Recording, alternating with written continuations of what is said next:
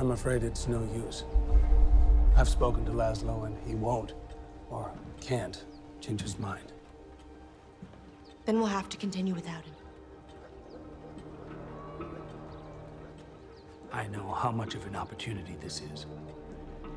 I know how much it could help convince the... Please don't insult me. Do you honestly believe I'm doing this to advance myself?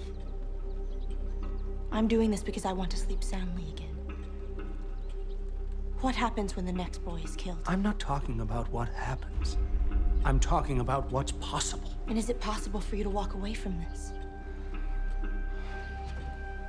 Because I can't. Dr. Kreizler's withdrawn because he's been hurt. As badly as anyone can be.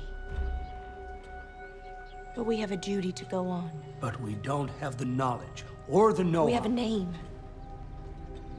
We have a suspect. I believe Japheth Dury killed his parents and a man named George Beecham. He took his name, or part of it, and became John Beecham. All we have to do is find him.